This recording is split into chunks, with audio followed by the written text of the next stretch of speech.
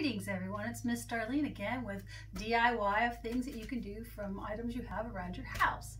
Today we are going to uh, do rock painting and what you'll need to do this with are rocks, paint brushes, paint, water, paper towels, and something to put down on your surface so you don't get paint on it.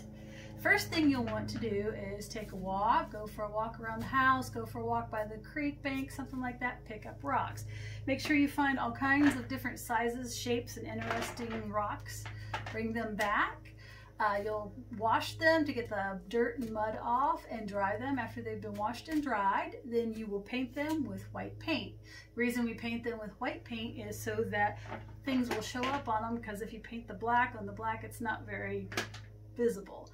And then after you paint your rock white and you let it dry, then you can paint whatever you would like on your little rocks like so.